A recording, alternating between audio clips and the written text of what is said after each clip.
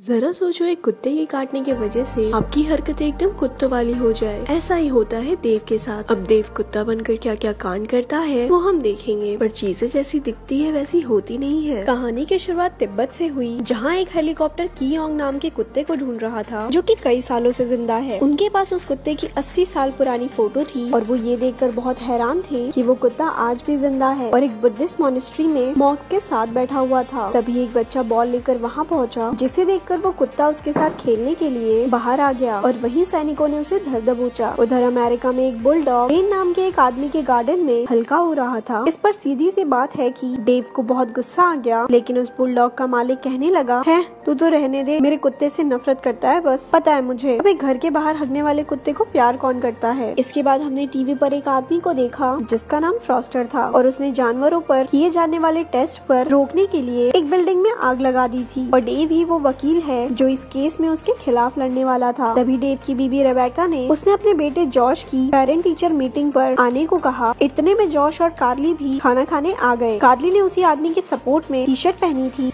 जिसके खिलाफ उसका बाप केस लड़ रहा है। ये देखकर डेव सोचने लगा कि काश उस रात में जल्दी सो जाता। उधर कोर्ट में डेव ने अपना केस शुरू करते हुए कहा कि कंपनी इंसानों को होने वाली बीमारियों का इलाज ढूँढने की कोशिश कर रही है। तो पहले तो जानवरों पर ही टेस्ट करना होगा ना? सीधा किसी इंसान के पिछवाड़े पे तो घोप नहीं सकते। इंजेक्शन और फिर फ्रॉस्टर की लगाई आग की वजह से कई लोगों की जान भी जा सकती थी। सुनवाई के बाद डॉक्टर केन और कूजैन डेव से मिलने आए और उसके बढ़िया प्रदर्शन के लिए उसे शाबाशी दी। इसके बाद डॉक्टर कोजैन अपने बॉस स्ट्रिकलैंड से मिला जिसने उससे पूछा कि क्या उन्होंने पता लगा लिया कि वो कुत्ता इतने सालों से ज़िंदा कैसे है? इस पर डॉक्टर ने बताया कि, कि उस कुत्ते की उम्र हर सात साल में एक बार बढ़ती है और वो करीब करीब 300 साल से ज़िंदा है। ये सुनते ही उन्होंने तय किया कि वो कुत्ते के खून से जीन्स निकाल कर एक इंसान के शरीर में डालेंगे। पर अब तक कंपनी ने जितने भी एक्सपेरिमेंट किए थे, उन सभी के कुछ निराले ही साइड इफ़ेक्ट हुए थे। और जानवरों पर टेस्ट करने के खिलाफ लैब के बाहर धरना भी चल रहा था। डेव ने वहाँ पहुँच देखा की उसकी बेटी कार्ली भी अपने बॉयफ्रेंड के साथ धरने में बैठी थी। पागल कहीं की किसी ने देख लिया ना तो नौकरी से निकलवाओगे तुम मुझे। लैब के अंदर जैसे ही साइंटिस्ट ने उस कुत्ते का खून निकाला तो वो उनसे इंजेक्शन छीन कर वहाँ से भाग गया। और तभी कार्ली और ड्रे ने बिल्डिंग में जाने का प्लान बनाया और अंदर घुसते ही उन्हें वो कुत्ता मिल गया, जिसके बाद उन्होंने उसे अपने साथ ले जाकर मीडिया को दिखाने का फैसला किया। वाह,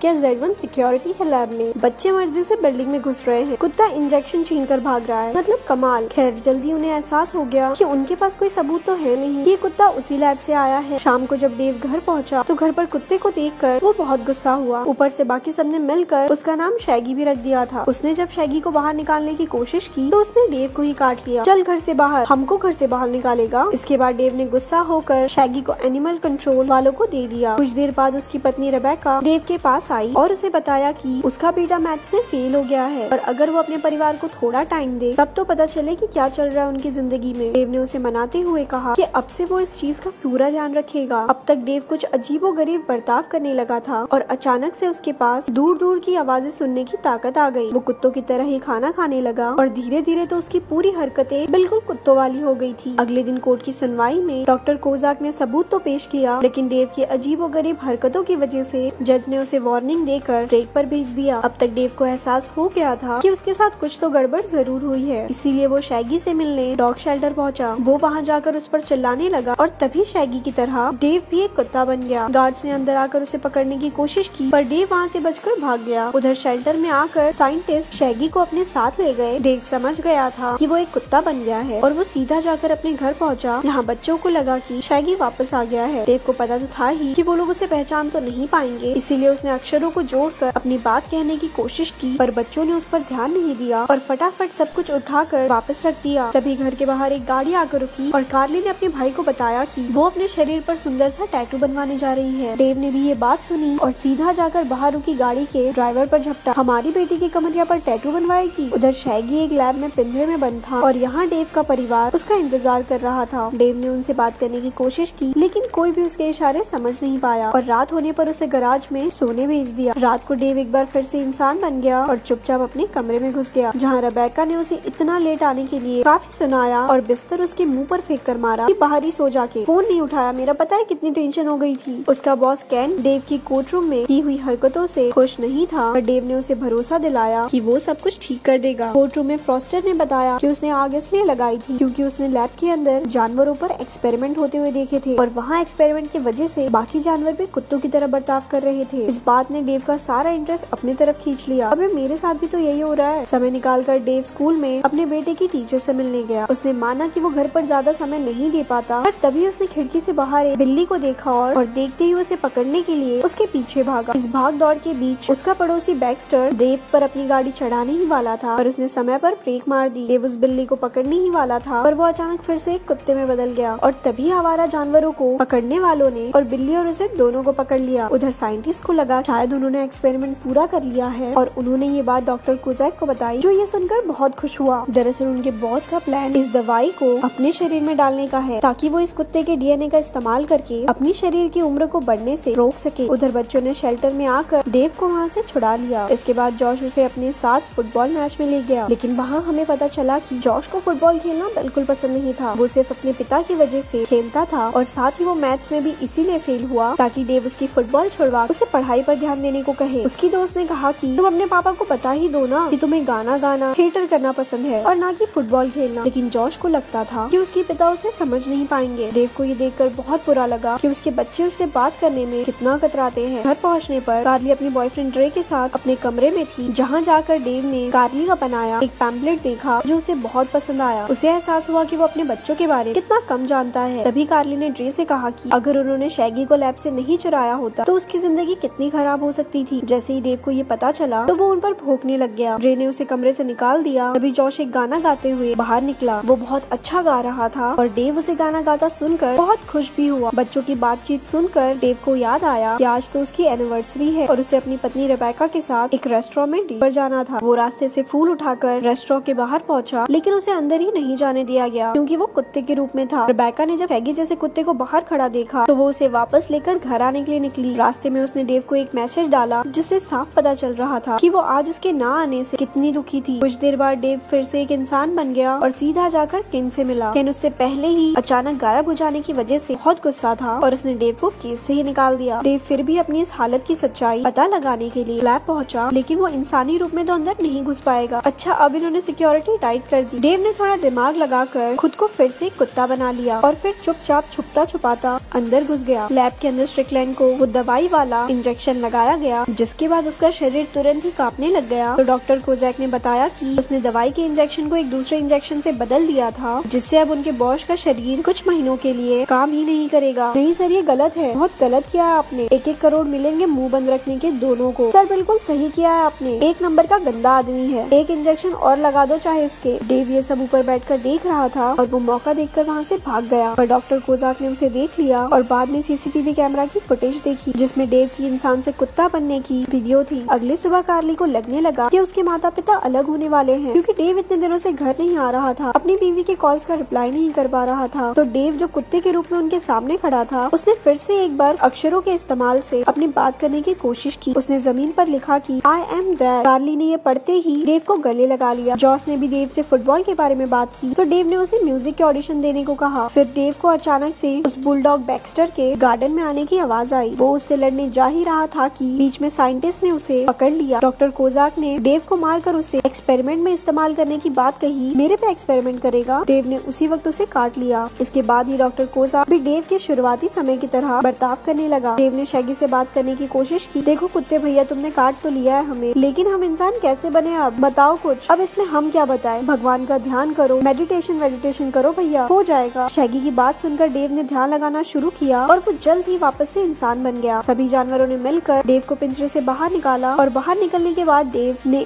एक एक करके सारे जानवरों को वहाँ से भगा भी दिया। पर जब तक वो खुद भाग पाता, साइंटिस्ट ने उसे बिजली का झटका ज़ोर से देकर वहीं घेर लिया। उधर बच्चों ने आकर शैगी को अपना बाप समझकर गाड़ी में बिठा लिया। शैगी ने उन्हें समझाने की कोशिश भी की कि वो कुत्ता है, पप्पा नहीं, लेकिन वो बेचारा कैसे ही समझाता। दूसरी ओर देव को फिर से एक पिंजरे में डाल दिया गया। मौका मिलने पर इस बार बाकी जानवरों ने उसकी जान बचाई। बच्चे शैगी को लेकर अपनी माँ के पास पहुँचे और उसे पूरा सच बताया। मम्मी, ये मत पूछना कैसे, पर अब ये कुत्ता ही आपका हस्बैंड है। इसी का चेहरा देखना पड़ेगा, करवा चौथ वाले दिन। यही है जो कुछ है, मम्मी। रेबेका बहुत कंफ्यूज हो रही थी, लेकिन तभी डेव ने उसे फ़ोन करके सारी बात बताई और सबको कोर्ट आने को कहा। लेकिन खुद बेचारा जाम में फंस गया। उसने गाड़ी छोड़कर खुद को फिर से कुत्ता बना लिया, ताकि वो जल्दी से कोर्ट पहुँच जाए। कोर्ट पहुंचकर पहले वो अपने परिवार से मिला, अपनी पत्नी को भरोसा दिलाया कि वो ही डेव है और फिर जैसे ही रबैका ने उसे किस किया, वो एक इंसान में बदल गया। कोर्ट में जाकर डेव ने कैन से कहा, सर, एक मौका मौका दे दीजिए। दूध का दूध, पानी का पानी कर दूँगा। तभी अचानक डॉक्टर कोजा वहाँ से भागने की कोशिश करने लगा। देव ने उसे रोक कर उससे सवाल करने शुरू किए और पूरे कोर्ट को उसका सच बताया। लेकिन जज ने कहा कि ये सब तो ठीक है, लेकिन केस डॉक्टर कोजा के खिलाफ तो है ही नहीं। और जज ने डेव को ही कोर्ट से बाहर जाने के ऑर्डर दे दिए। डेव ने दिमाग लगाया कि जिन चीज़ों से वो कुत्ते में बदल जाता है, उससे डॉक्टर कोजाक भी ज़रूर बदल जाएगा। उसने कोर्ट रूम में आकर वापस एक डंडा फेंका, जिसे देखते ही डॉक्टर कोजाक उस डंडे को पकड़ने के लिए भागा। ये सब देखकर सभी बहुत हैरान थे और तभी डॉक्टर कोजा के पीछे से पूछ निकल आई, जिसे देखते ही ये साफ़ हो गया, वो जानवरों के ऊपर कुछ इलीगल एक्सपेरिमेंट कर रहा है, जिसके बाद जज ने उसे अरेस्ट करने के ऑर्डर्स दे दिए। कोर्ट से बाहर निकलते ही रिपोर्टर्स की भीड़ ने डेव को घेर लिया, लेकिन उन्हें छोड़कर डेव अपने परिवार के पास गया और पहले उन पर ज़्यादा ध्यान न देने के लिए उनसे माफ़ी मांगी। वो लोग एक लंबी छुट्टियों पर गए, जहाँ हमने देखा कि शैगी भी अब उनके साथ रहने लगा था और ऐसी ही मूवी यहाँ खत्म हो गई। ऐसी और स्टोरी सुनने के लिए हमारे पेज को लाइक करें। धन्यवाद। apunhalado